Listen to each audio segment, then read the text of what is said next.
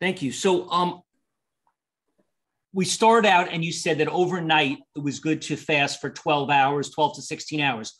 What about longer fasts, fasts that are like um, a 48 hour fast, a weekly fast, a several week fast? And you and would that be with green juice or with water? And is, is there a benefit to longer term, meaning from one day to three weeks of either water fasting or green juice fasting? Is there any information, studies, or science on this for Parkinson's or Alzheimer's?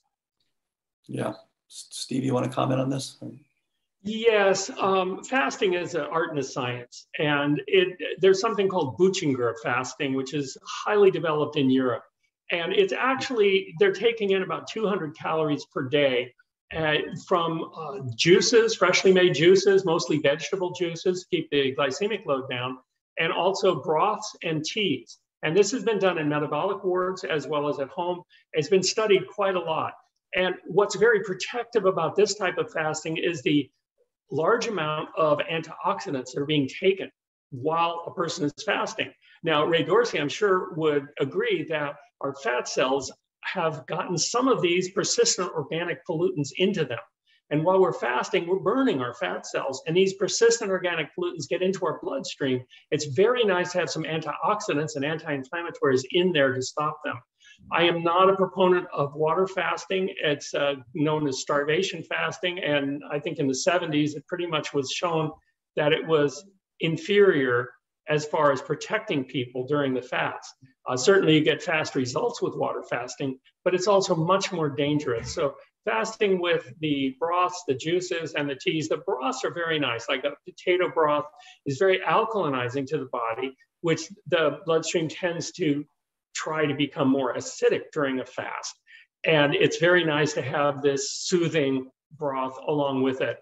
So I would suggest that if people are going to fast, that they do that. However, in Parkinson's disease, especially in the later stages, we have weight loss as one of the big problems. So you would not want to fast if you were already low in weight, of course. So, where we find it most helpful is in people who are a little overweight and they have some degree of insulin resistance. And we're helping them to become insulin sensitive and we're helping them to become metabolically flexible. That's where I think it can be very, very helpful. Um, Steve mentioned, making sure that you have some antioxidants on board, very helpful. So, we are very careful about that for people who have low BMIs. Uh, if you, you know if you're down at nine, you know, 19, 18 BMI, I am very worried about having you be fasting. And to go one step further, I what I would like to see is people move toward a nice plant whole food diet. And that's going to provide the benefits of fasting. Some of the best benefits of fasting are not getting the animal foods in the diet.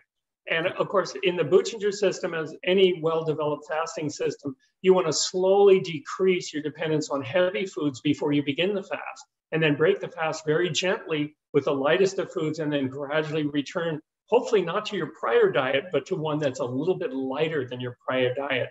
For me, I would prefer that people start changing their diet to a much healthier diet.